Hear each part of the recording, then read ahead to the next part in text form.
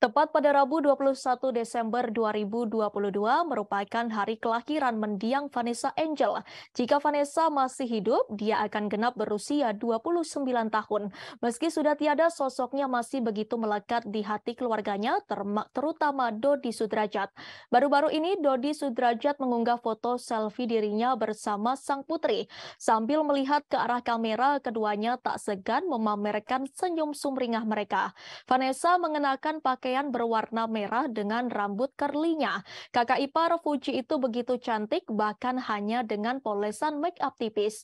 Lewat unggahannya di Instagram, Dodi Sudrajat mengucapkan selamat ulang tahun untuk mendiang putri tercintanya itu. Dodi Sudrajat juga mengungkapkan bahwa dia selalu mendoakan Vanessa. Sementara itu di Instastory, Dodi Sudrajat mengunggah foto Vanessa sedang memakai mukena. Vanessa begitu menawan mengenakan mukena ungu sembari sembari tersenyum. Dodi kemudian menyisipkan tulisan selamat ulang tahun lengkap dengan emoji berkaca-kaca.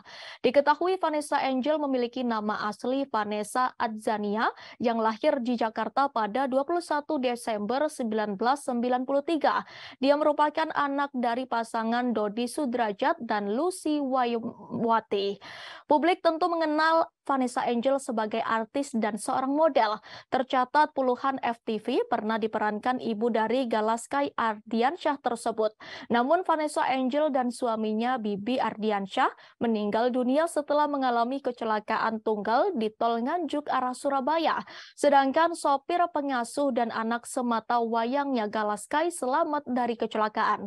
Saat ini Galaskai berada di bawah pengasuhan orang tua Bibi, Dewi Zuhriati dan Haji Faisal. Kini Galaskai tumbuh besar menjadi anak yang pintar. Walaupun ditinggal oleh orang tua tuanya, Galaskai tak kekurangan kasih sayang. Terima kasih sudah nonton.